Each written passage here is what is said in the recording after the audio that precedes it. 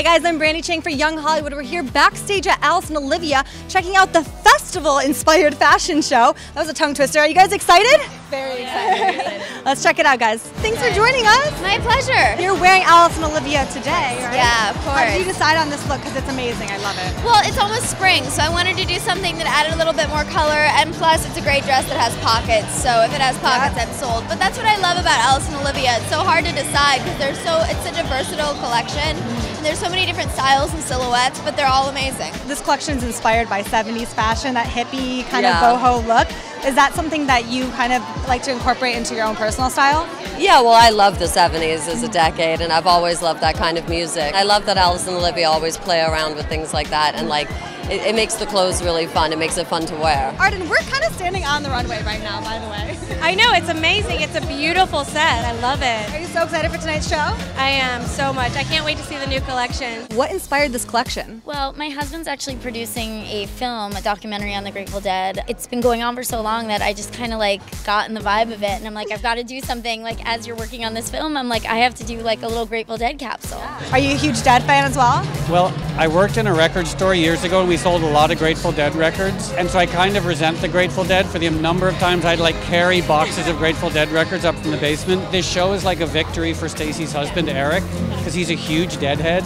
And when they first started dating, she just wanted nothing to do with it. So really, like, he's the main influence here, I think. Are some of your fashion superheroes? Whose style are you loving right now? I'm currently obsessed with Gigi. I think her style, like her off-duty street style, is unbelievable, and she's like made me want to go buy like a camel coat and rip skinny jeans so badly because she rocks the look. I love your look. Thank you, beautiful. Alice and Olivia.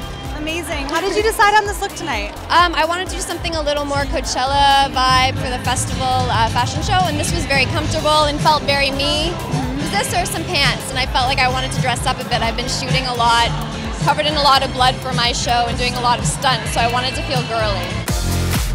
Stacey's really ahead of the curve right now with this idea of having a fashion show and having customers be able to buy clothes immediately. What you're seeing, you can actually like have right then and there, because that's the way what people want now. Because we're, we're all about giving people what they want. What's one thing that you want in your closet right now? Ooh, um, well, I was in the Alice and Olivia store the other day, and I saw this pair of pumps, but they were denim. And I'm kind of obsessing over them. Denim so pumps. I'm probably going to have to invest in those eventually. What do you wear denim pumps with? Would you wear it with like a dress or would you do like denim on denim? I would probably do all black with a denim shoe and let that it. be the pop of color.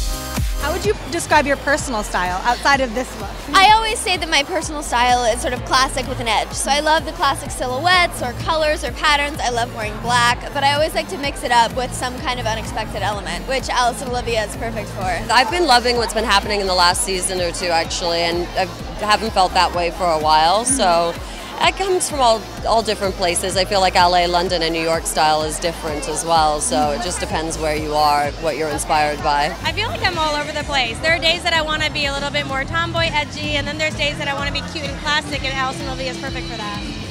What are you feeling today? Describe your feel look. like in between. I feel like I'm a little edgy, but still girly. I've got heels on, the Alice and Olivia skirt, kind of a thick moto jacket, gives it a little bit of a boyish feel. High waist skinny jeans. They were literally like twenty dollars, light blue, stretchy high waist skinny jeans, and they're my hero piece. They go with everything, and I'm obsessed with them. Audrey Hepburn has always been kind of my style icon because her style was so diverse but also so classy and so classic all the time, and I um, I try to follow in her footsteps. Well, if Audrey Hepburn came back to this Alice and Olivia show right now, you would be her reincarnation. oh, thank you.